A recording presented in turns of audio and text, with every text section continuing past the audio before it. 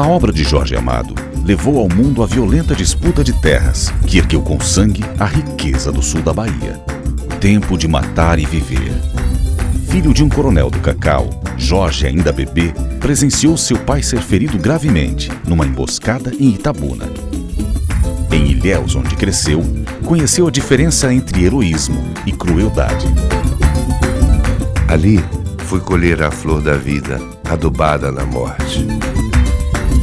Amado Jorge, Jorge amado. Viva Jorge, viva Jorge. Salve Jorge, salve Jorge. Amado Jorge, Jorge amado. Amado Jorge.